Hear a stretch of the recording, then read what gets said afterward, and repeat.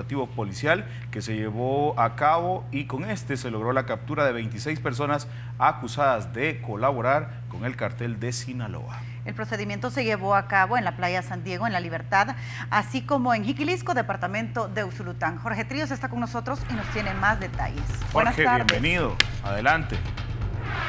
Gracias, muy buenas tardes compañeros, pues ustedes ya lo adelantaban. Hay que decir que eh, si bien pues salvadoreños participaban eh, colaborando con este cártel mexicano, se dijo que la persona que dirigía pues o que tenía vínculos con él es un guatemalteco que ya fue capturado. Sin embargo, pues algunos pescadores de nuestro país colaboraban brindando de alguna forma alimentación. Eh, también cuando venían personas transportando droga, eran quienes lo guiaban y, quienes también pues les daban refugio en la noche, en horas del día para que pudieran esconderse. Así lo explicó el el eh, ministro de Seguridad y Justicia que habló sobre este amplio operativo.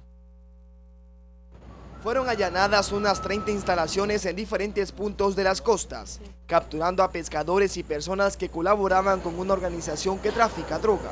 Son más bien estructuras de apoyo, que lo que proporcionan es apoyo logístico, suministrando combustible, lugares de, albergue o estadía, alimentos, entre otras cosas. La estructura era liderada por un guatemalteco que ya fue capturado y que tenía vínculos con el cartel mexicano de Sinaloa. Marlon Francisco Monroy, de nacionalidad guatemalteca y exmiembro de la Fuerza Armada de ese país, ya había sido detenido en noviembre del año pasado e incluso fue eh, trasladado a los Estados Unidos. Se decomisaron cinco armas de fuego, lanchas y una cantidad importante de dinero proveniente de las actividades ilícitas. Son tres armas cortas, una escopeta y un fusil calibre 22. ¿Cuánto es lo, dinero, lo incautado de dinero? Lo, son, cantidad, son aproximadamente 4 mil dólares, tengo entendido, que, que fueron encontrados en los registros y que se han incautado. Nuestro país se encuentra en una zona de tránsito y el destino final de la droga es Estados Unidos. Llevan rumbo al norte del continente, sobre todo a Guatemala.